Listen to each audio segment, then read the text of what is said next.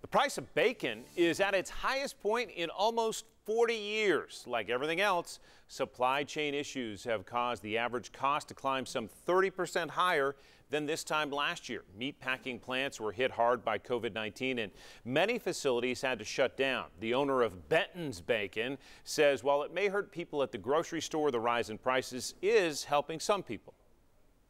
The, far- the farmers are definitely getting relief and it was well needed.